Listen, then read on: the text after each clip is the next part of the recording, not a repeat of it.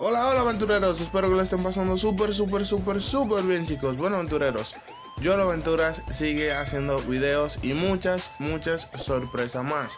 Pero chicos, los aventureros van a ir a Brasil y chicos, decir que Nando, Mariana y Panda se encuentran en Bogotá, Colombia, mientras que Yolo todavía está en Ciudad de México pero aventureros Mariana, Nando y Panda estuvieron de fiesta y también resolviendo algunos problemas en Colombia. Recuerden que ellos dijeron que iban a estar viajando de Colombia a México y viceversa.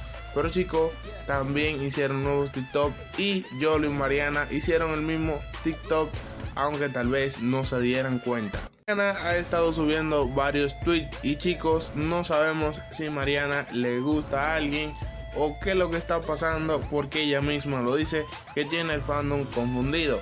Pero chicos pone, yo siempre tengo ganas de enamorarme y ser linda con alguien. Qué fuerte tener que aguantarse las ganas de decir algo lindo. Eso pone Mariana y ha puesto varios tweets también relacionados con esos temas. Pero no se sabe chicos para quiénes son esas indirectas y también unos TikTok que hace muy muy fuertes que son indirectas pero no sabemos para quién. Aunque ustedes digan en los comentarios para quiénes creen que son esas indirectas que pone Mariana vía Twitter y vía TikTok. Ay, yo no me quería encular, pero...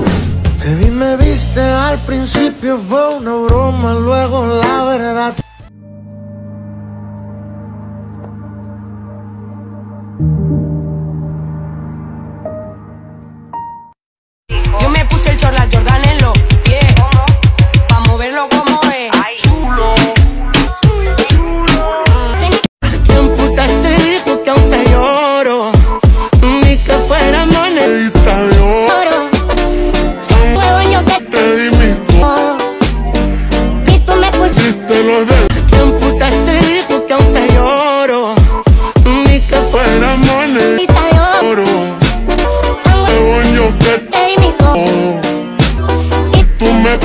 esperen nuevos videos de Yolo Aventuras, Baby Rit y las hermanitas que van a estar muy muy buenos ya que Mariana, Nando y Panda han estado grabando junto a las hermanitas, junto a Baby Rit y chicos ahí pudieron ver que es el mismo TikTok y también chicos, el TikTok de que está soltero, también Mariana lo hizo no hace tanto y dijo que aunque esté soltera no sale con nadie más. Así que chicos, dejen en los comentarios qué opinan de todo esto y si creen que Yolo y Mariana pueden reconciliarse antes de que pase el año. Así que chicos, suscríbanse para que tengan el pendiente de todo, todo lo que pasa con Yolo Aventuras.